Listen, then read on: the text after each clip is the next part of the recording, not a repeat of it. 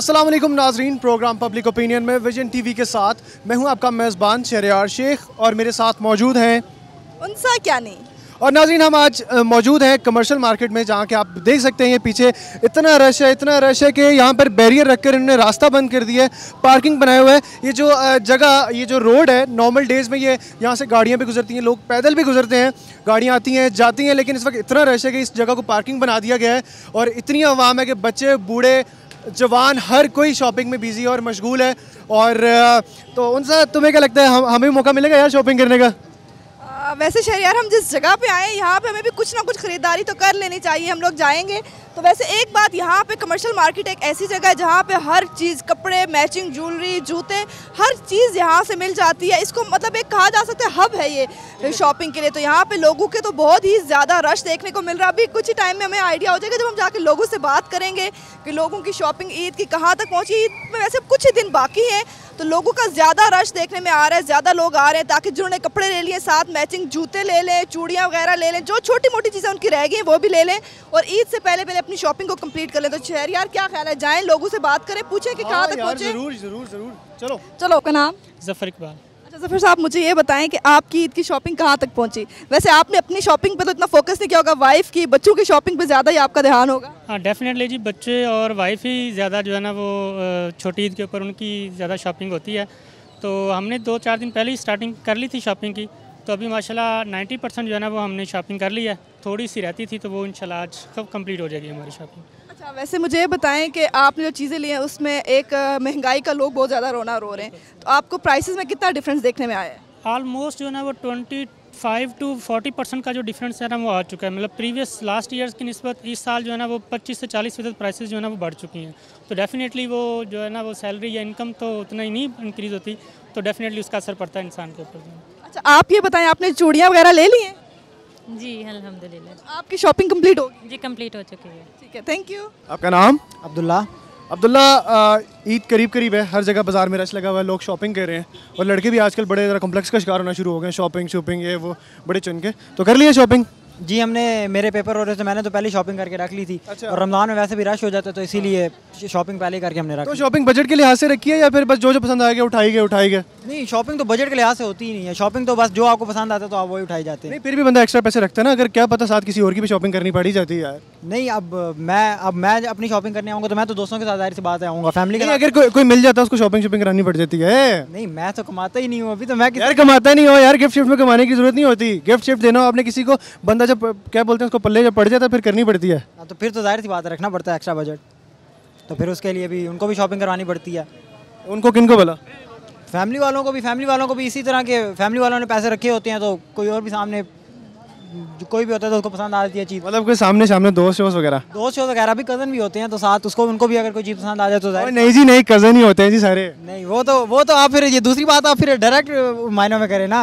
मैं तो मैं तो भाई साफ़ साफ़ बात कर रहा हूँ आप खुद नहीं बोल रहे। साफ़ साफ़ मुझे फिर समझ नहीं आ रही कि आप क्या बोल रहे हैं। चलिए ठीक है थैंक यू क्या नाम है आपका? रानिया। अच्छा रानिया मुझे ये बताओ कि आपने ईद की शॉपिंग कर ली है? जी मैंने ड्रेस ले लिया शूज़ ले लिए हैं नेकलेस ले लिया है। मेरी हाफ़ ज्वेलरी हो गया हाफ़ रहती है अभी। अच्छा और क्या क्या लेना है आपने?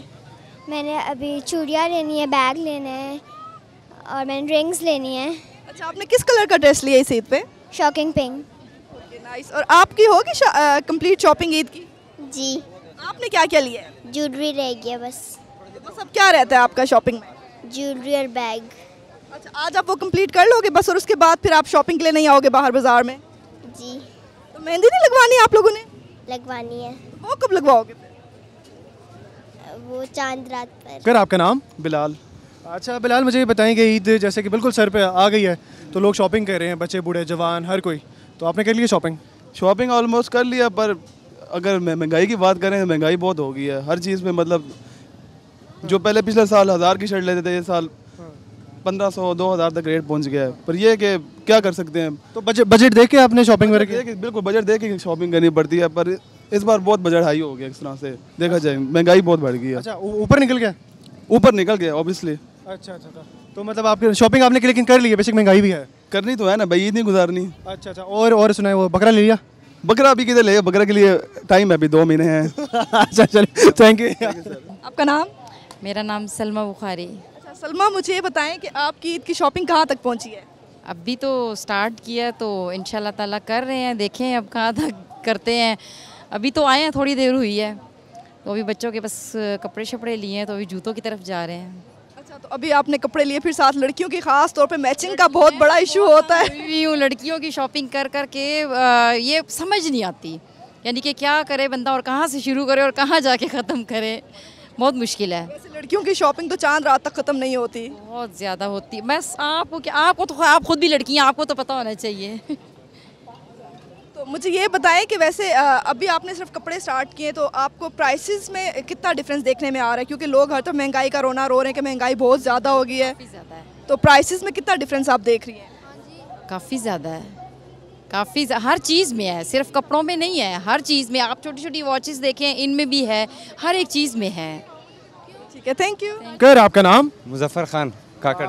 मुजफ्फर भाई जैसा कि आप जानते हैं ईद ऑलमोस्ट आ गई है। जी जी बिल्कुल। तो शॉपिंग कर ली ईद की आपने? बिल्कुल ईद तो सर पे आ गई है अल्हम्दुलिल्लाह मैंने खुद भी शॉपिंग की है और माशाल्लाह मार्केट में सब लोग शॉपिंग कर रहे हैं और इस दफ़ा पिछले जितने भी ईद गुजरे उससे ज़्यादा इस दफ़ा जो मुझे खुशी नज़र आ रही है लोग सही कपड़े क्लॉथ्स बूट सब कुछ ले रहे हैं। मतलब कि आप पिछली बार वाला भी कोटा आपने इस बार पूरा किया सही शॉपिंग करके। अल्हम्दुलिल्लाह इस दफ़ा ज़्यादा ज़बरदस्त अल्लाह ताला ने सब कुछ पूरा कर दिया। जो ख्वाहिश थी वो पूरी हो गई जो नेक ख्वाहिश थी अच्छा, वो पूरी होगी नेक ख्वाहिश। अच्छा नेक ख्वाहिश से मुझे आप ये बताएँ कि बजट देख के शॉपिंग करते हैं बस जो चीज़ पसंद आई उठाई गई उठाई गई? तो नहीं होता है इस तरह नहीं होता है। जो अपना बजट देखना पड़ता है कि भाई मेरी बजट क्या है।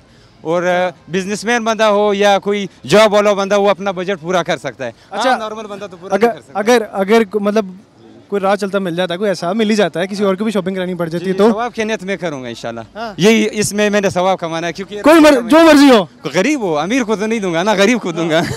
नहीं फिर कोई अपना कोई करीबी जानने वाला जरा करीबी कोई मिल ही जाता है। करीबी जाने वाला अगर वो मुझसे ज़्यादा कमज़ोर है वीक है तो उसका मैं हेल्प कर सकता हूँ। अच्छा। हाँ तो अच्छी शॉपिंग कराएँगे उसको इंशाल्लाह जो मेरे बस में होगा वो मैं दूँगा इंशाल्लाह। वो अगर आपके बस से बाहर हुआ तो? बर्बाद से वो मैं उसको सॉरी कर दूँगा कि मैं नहीं कर सकता हूँ।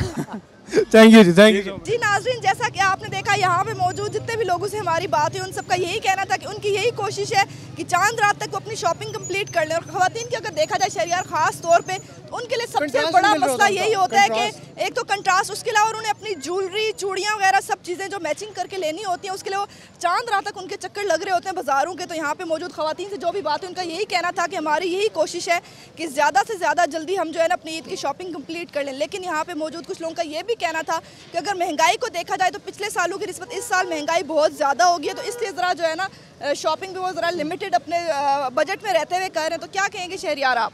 यार बिल्कुल ऐसे ही कि ऊपर से मैं देख रहा हूँ, रश इतना लगा हुआ है। कि मेरा ख्याल है कि हमें भी शायद हम अपनी शॉपिंग शुरू कर देनी चाहिए इससे पहले कि हमारे लिए कुछ बचे ही ना। और उनसे मेरा ख्याल है तुम्हें तो अभी से ही ये शो वाइंड अप करते शुरू होना चाहिए क्योंकि तुम्हें तो तुम्हारा साइज़ ढूंढते तुम्हें तुम्हारा साइज़ ढूंढते ढूंढते कम से कम दो से तीन दिन तो लग ही जाएँगे यार तुम्हें।